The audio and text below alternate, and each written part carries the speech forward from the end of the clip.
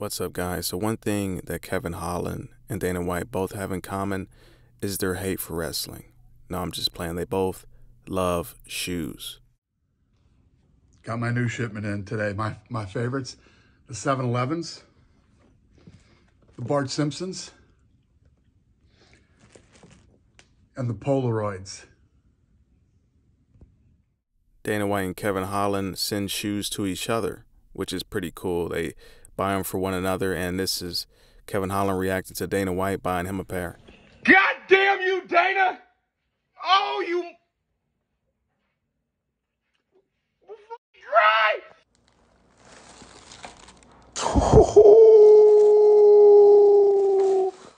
Now, a lot of people thought that Dana White sent Kevin Holland those shoes to persuade him not to retire, but it turns out that that video was actually taken a little while before Kevin Holland got beat by Chimaev and basically retired for a little brief moment in time. He now has a fight booked with Wonderboy Thompson. Um, and he got you some shoes, right? That was way beforehand. So you Oh. remember Now, I will say when Kevin Holland posted that video, the timing was impeccable. He was talking about retiring. I was truly convinced that Dana White sent him a pair of shoes to try to persuade him not to. I I was one of those people. we had did the uh we had went the shoe surgeon and I had went and seen uh, my boy box and everything like that. So when we went and did all that, we stopped at the shoe surgeon spot and I was gonna get the shoes myself, but Dana was like, "Boy, put your little chunk change away. I got you this time." And so New strategy unlocked to get closer to your boss. Buy him or her a pair of shoes. I will try this.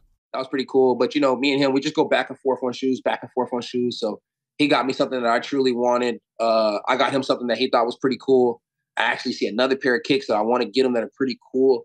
But I mean, I I mean, how can you not like Kevin Holland? The guy buys shoes and gifts for people, and he goes out and fights real world crime. I mean, this guy actually does fight crime. I like him a lot, but there's another pair that's kind of similar to him out there in the world, and he got those already for somebody else. So I don't, Oh, I don't want him to have to look at them and compare them and try and compete. You know what I mean? But I might get it just for that simple fact, so he can compare and be like, "Yeah, I like this for the bang of the buck, and I like that for the bang of the buck."